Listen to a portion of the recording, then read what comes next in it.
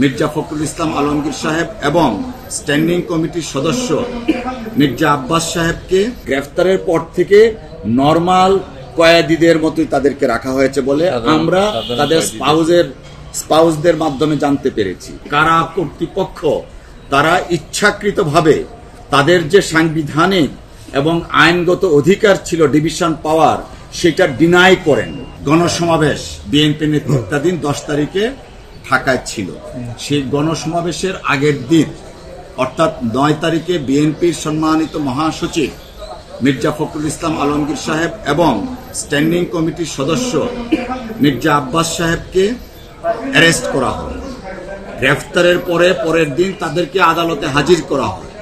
আদালতে হাজির হওয়ার পর আমাদের আইনজীবীরা আবেদন জানিয়েছিলেন, জামিন ওনাদের নামঞ্জুর করার পরে যেন তাদেরকে কারা বিধি অনুসারে ওনাদের যে প্রাপ্য সাবেক এমপি হিসাবে ওনাদেরকে যেন সাবেক এমপি এবং মন্ত্রী হিসাবে ওনাদেরকে যেন ডিভিশন দেওয়া হয়।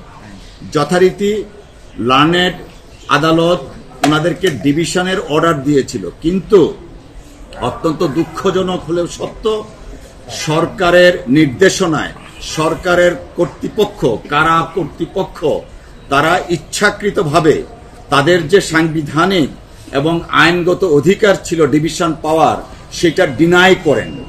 এবং ডিনায়ালের কারণে তাদের স্ত্রী যথাক্রমে আফরুজা আব্বাস এবং মিসেস মির্জা ফখরুল ইসলাম আলমগীর পিটিশনার হয়ে আজকে মাননীয় মহামান্য সুপ্রিম কোর্টের হাইকোর্ট বিভাগে দুইটা পিটিশন, রিট পিটিশন দায়ের করেন। আজকে সাড়ে তিনটার সময় শোনানোর কথা ছিল। আমরা যখন শুনানির জন্য যাই সাবেক attorney general as a Mohammad Ali sir submission রাখছিলেন। তখন লার্নেড ডিএজি বললেন যে অলরেডি আজকে তাদেরকে ডিভিশন দেওয়া হয়েছে। উনি মোবাইলে একটা মেসেজ করে শোনালেন। তখন আমরা সাবমিশন দিলাম, যেহেতু মৌখিক বলছে, অতএব অন পেপারে মাননীয় আদালত, মহামান্য আদালত যাতে একটা অর্ডার দেন।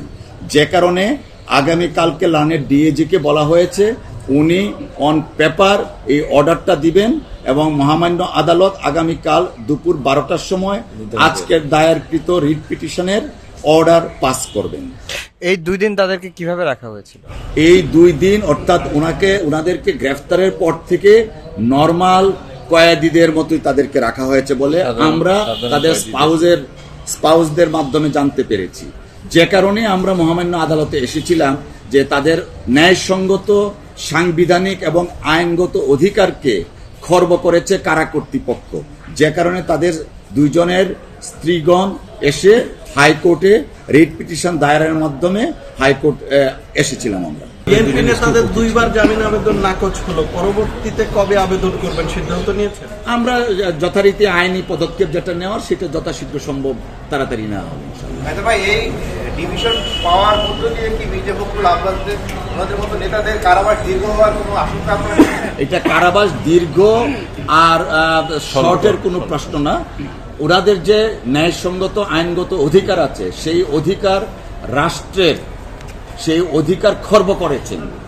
অতএব সেই অধিকারটা আপনারা জানেন, মির্জা ফখরুল ইসলাম আলমগীর সাহেব আর মির্জা আব্বাস সাহেব দুজনেই senior citizen of the country তো ওনাদের ন্যায়সঙ্গত, আইনগত অধিকারকে খর্ব করেছে। যে কারণে আমরা মহামান্য আদালতে এসেছি রিট পিটিশন দায়ের করার জন্য।